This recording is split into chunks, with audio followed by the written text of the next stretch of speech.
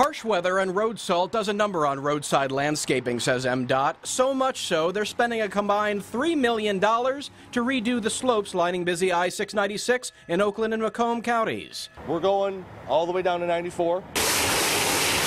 Crews today out in force, spreading nearly $2.5 million worth of mulch to cover dying landscape.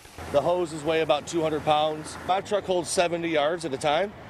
Takes about an hour and a half to unload it. Chopper 7 was overhead as the work on the 10 mile stretch began this morning.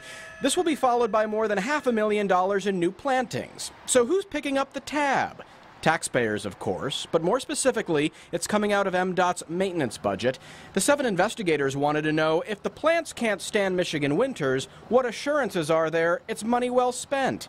MDOT says the contractor is required to replace the plants or take a financial hit if they die within two years of planting.